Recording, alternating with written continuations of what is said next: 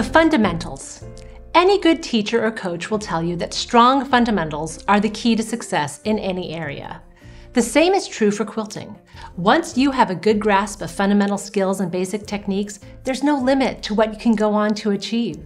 Hi, I'm Mary Kate Karr-Petras from Quilt Street, and in the first episode of our Teach Me How to Quilt series, we start at the ground level with the basic terms and definitions that you'll encounter as a quilter. It's kind of our own lingo.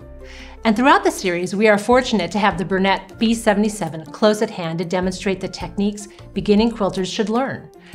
It's the perfect, high quality, yet affordable machine for this ground level approach. It's got all of the features most quilters need in a machine, plus extra features that can help turn your quilt into something really special.